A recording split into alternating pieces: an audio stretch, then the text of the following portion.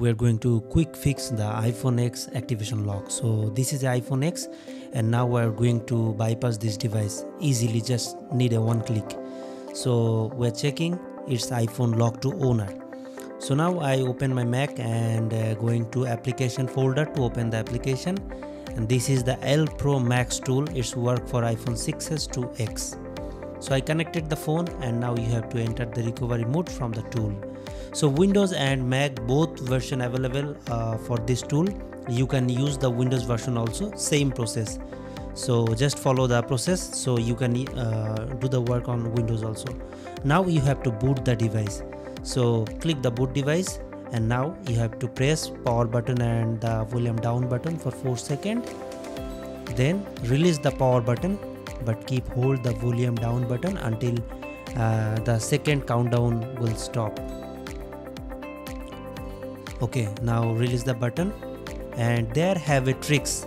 Sometimes you see the boot error so when the apple logo show then just reconnect the cable then it will booting.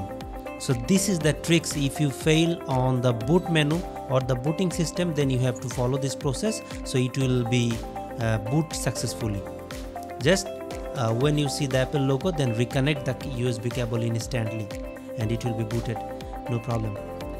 Uh, okay so now the phone is open boot successful. Now wait and uh, click the activate devices to check the device is supported or not. So i click the activated devices now. Wait a moment. Uh, there will show a pop-up that your phone what's the status? Okay so it's showing congratulations uh, your device is supported. That's mean now you have to submit your serial number to do the work.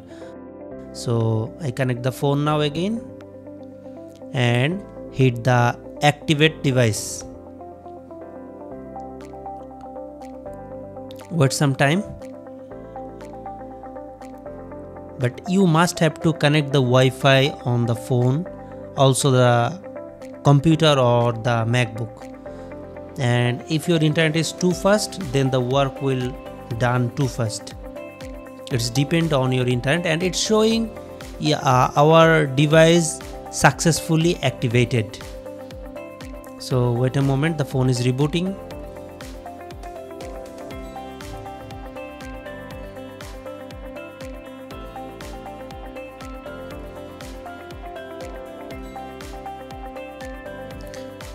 okay so the phone is open. Now i swipe and yeah it's activated. No sim card installed.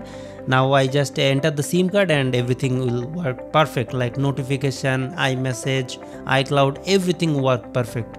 So this is the way to bypass. Thank you